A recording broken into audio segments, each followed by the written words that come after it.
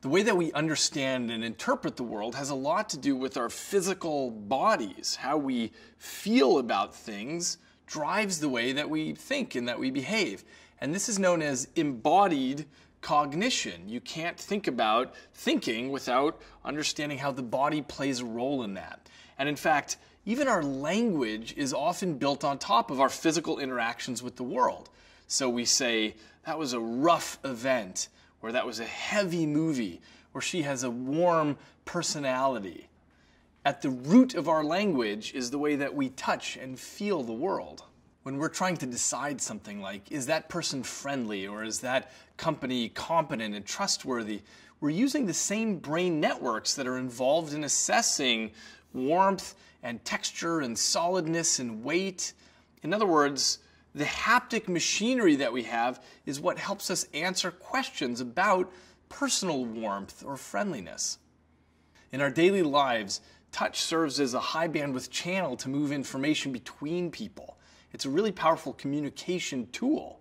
So, to give assurance, you, you lay a hand on somebody's forearm, or to give kudos, you slap somebody on the back. And in an aggressive situation, people poke each other and when people shake hands, they notice the firmness of each other's grip. And to show affection, people do things like move a hair out of the way or nuzzle up with somebody's cheek. We communicate a lot more information through touch than we're normally aware of. There was a study at DePauw University where they blindfolded people and asked them to communicate a social emotion just by touching the other person. So they were asked to communicate things like anger or fear or disgust or love or gratitude or sympathy or happiness or sadness just through touch. And people were blindfolded and figured there'd be no way they'd be able to communicate that. But they did much better than they thought. 75% of the time, the other person was able to understand the social emotion that was being communicated. And this just underscores how good we are at using this communication channel. Just look at how important touch is in the world of sports. So when you watch a basketball game, you see all these professional basketball players high-fiving and chest bumping and slapping each other on the back. So what's that about? One possibility is that it's just a tradition and it doesn't have any particular meaning, but some people started getting interested in whether this actually was a form of bonding and was therefore better for the game. So scientists from the University of Illinois started looking into this question and they measured the number of times that there was friendly contact between team members. And they found something amazing, which is that by the end of the season, those teams that had more physical contact were ranked much higher. Why? Well, the best hypothesis is that it increased trust and affiliation and it decreased stress hormones.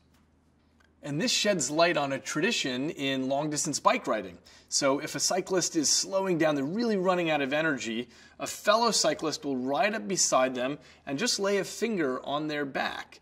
And this speeds them up. It's eerily effective. So, just a simple human touch is enough to reinvigorate someone and let them find a second wind. This is presumably why we see touch across the primate world. When monkeys groom each other, they're strengthening their trust and their bonds with one another. It also has health benefits.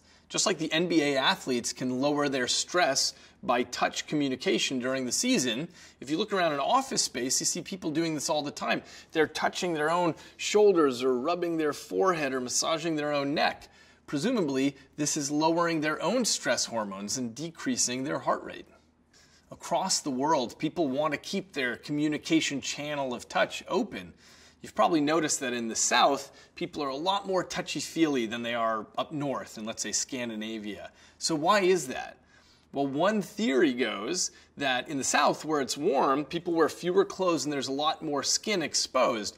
And it only pays off to touch somebody if they're going to feel it. And up north, where it's cold, they're wearing heavy clothes and that communication channel is essentially cut off. So they're not touching each other much.